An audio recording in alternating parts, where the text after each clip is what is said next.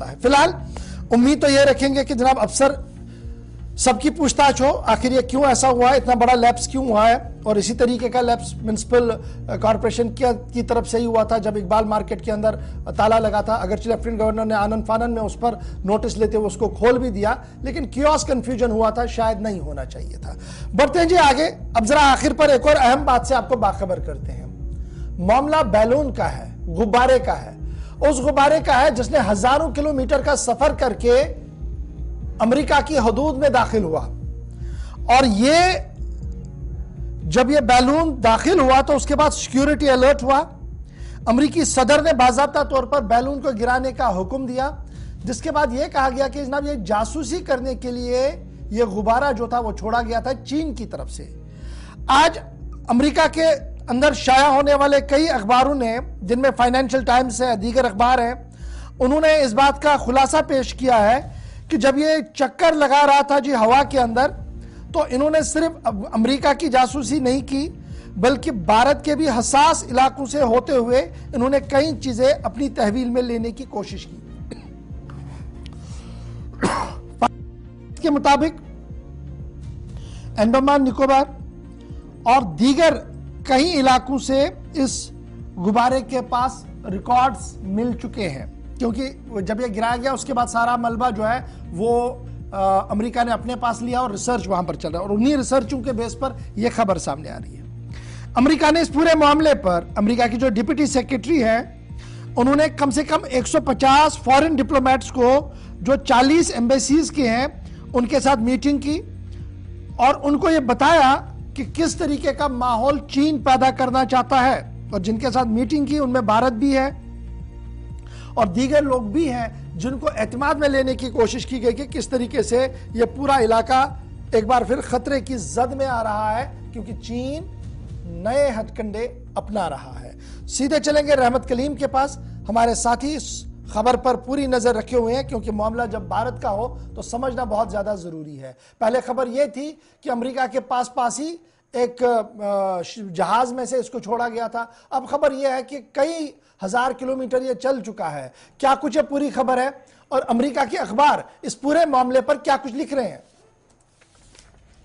जी बिल्कुल अमेरिका की जानब से जो कोशिश की गई थी इस गुब्बारे को या यूँ कहिए कि जासूसी बैलून को रोकने की, उस कोशिश के नतीजे में कुछ और परतें खुली हैं और कुछ और परतों के नतीजे में ये मालूम हुआ कि ये चीन की तरफ़ से जो कोशिशें की जाती रही हैं, या जिस तरह से जासूसी का ये तरीका इख्तियार किया गया है, ये आज की खबर नहीं है आज का तरीका नहीं है बल्कि बहुत ही पुराना तरीका है और गुजशत चंद सालों में, खासतौर से चार पाँच सालों का अगर ज़िक्र करें, तब से लेकर के अब तक के बाबा तौर पर चीन की तरफ़ से इस तरह की जासूसी बैलून बना करके कई मुल्कों में, चालीस से ज़्यादा मुल्कों में बाबा तौर पर उसका इस्तेमाल किया गया है। अभी जो ताज़ा तरीन रिपोर्ट आई है, उसके मुताबिक हालिया दिनों में अगर पिछले तीन साल के अंदर करीब हिंदुस्तान का भी नाम उसमें है, जापान का नाम है, उसके साथ ताइवान का नाम है, इसके अलावा और कई कंट्रीज़ हैं अमेरिका के साथ, जिनमें बाबा तौर पर चीन ने इस्तेमाल किया है। लेकिन सबसे हैरानी वाली बात हुई तब हुई, है कि चूँकि ये हिंदुस्तान में भी इस्तेमाल किया गया था और इसके इस्तेमाल हुए करीब एक से डेढ़ साल हो गए, लेकिन अब जाकर के बाबा तौर पर यह खबर मंजर आम पर आई है कि हिंदुस्तान में भी ये बाबा तो जासूसी करने की कोशिश की गई थी।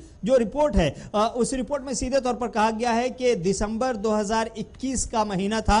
जब बाबा तौर पर आखिरी हफ़्ते में, दिसंबर के आखिरी हफ़्ते में इस तरह की कोशिश की जा रही, की गई थी अंडोमान निकोबार में, वहाँ पर बाबा तौर पर जासूसी की गई। ऐसे वक्त में जब हिंदुस्तान की बहरिया फिजाइया और आर्मी तीनों एक साथ बाबा तौर पर ड्रिल कर रही थी, जंगी मश्क कर रही थी, और उसी दौरान ये जासूसी बैलून का इस्तेमाल चीन ने किया था, पीएलए ने किया था। और उसके अलावा जापान में भी ऐसी ड्रिल के जब हो रहा था, जंगी मश्क जब हो रही थी, तब जाकर के इस्तेमाल किया गया था। और अब अमेरिका में इस्तेमाल किया गया। खबर यह भी है कि अमेरिका में यह चौथी चौथी बार था, चौथा बैलून था, जिसे मार गिराया गया है। तीन बैलून बाजाबता तौर पर ट्रंप के दौर में देखा गया था, लेकिन उस वक्त कार्रवाई नहीं हुई थी। लेकिन अब जब कार्रवाई हुई है तो कई सारी सनसनीखेज इंकशाफात भी हुए हैं, और मैं ये भी बताया गया कि जिन जिन मुल्कों के साथ, चीन के रिश्ते अच्छे नहीं है या खटाई के शिकार है ताल्लुकात, उन मुल्कों की जासूसी के लिए, वहाँ की मिलिट्री एसेट्स को जानने के लिए, मिलिट्री बेसिस को जानने के लिए, वहाँ के डिफाई पोजिशन को जानने के लिए बाबा तौर पर इस जासूसी बैलून का इस्तेमाल किया गया है, और किया जाता रहा है। चूँकि इस इस बैलून के हवाले से जो रिपोर्ट मिल पाई है। और उसका मतलब यह है उस रिपोर्ट में सीधे तौर पर कहा गया है कि यह बैलून इसीलिए तैयार किया जाता है ताकि दूसरे मुल्कों की जासूसी हो जाए। इसे सर्वेलेंस के अलावा और दूसरा कोई काम नहीं लिया जाता। लेकिन चूँकि अमेरिका तक ये मामला पहुँचा तो उसके बाद अब परतें खुली हैं तो हिंदुस्तान की सच्चाई भी समझ में आई कि हिंदुस्तान में भी बाबा तौर दो और बाईस में इस तरह की कोशिश की गई थी। उस वक्त लोकल मीडिया में सोशल मीडिया पर कुछ खबरें आई थी लेकिन हिंदुस्तान की सरकार की जाने से तब भी कोई जवाब नहीं दिया गया था और अब भी कोई जवाब नहीं दिया गया है। लेकिन सबसे बड़ा सवाल यह है कि चीन की जानब से इस तरह की जो कोशिश की गई वो सीधे तौर पर जासूसी है और ये सिर्फ़ जासूसी की हद तक है बल्कि किसी भी मुल्क की खुद मुख्तारी को चैलेंज करने वाला कदम है और किसी भी मुल्क की खुद मुख्तारी से खिलवाड़ करने वाला कदम है। अमेरिका के इस फैसले के बाद अमेरिका ने जैसे ही शट डाउन किया आ, उस जासूसी बैलून को उसके बाद चालीस ममालिक के खास उसमें हिंदुस्तान का भी ज़िक्र है उन्हें फ़ोन करके डिप्टी जो फॉरन सेक्रेटरी हैं। उन्होंने फ़ोन करके बताया कि हमने ऐसी ऐसी कार्रवाई की है और इसके पीछे की वजह यह है कि यह जासूसी बैलून है और ये इन इन मुल्कों में जिन खास से जिन ममालिक में ये पहले दौरा कर चुका था या जिस जहाँ इस्तेमाल किया जा चुका था,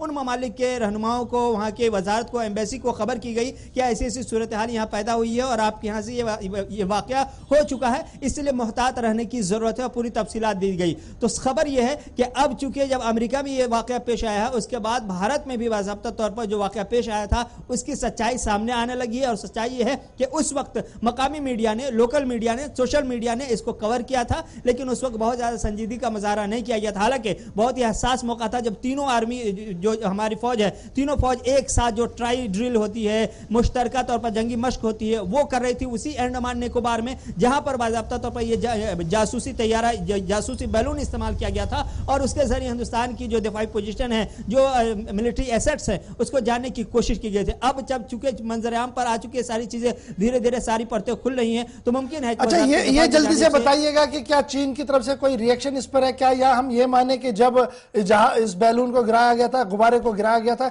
तो चीन काफ़ी तिलमिलाया था और उन्होंने कहा था कि ये जनाब अच्छी बात नहीं है, आप इस तरीके से कर रहे हैं। तो क्या मैं ये समझू कि वाकता जो फ्राइडे टाइम्स और दीगर अखबार लिख रहे हैं, उसकी दरअसल हकीकत यही है, जो चीन के अंदर हमने रिएक्शन देखा है?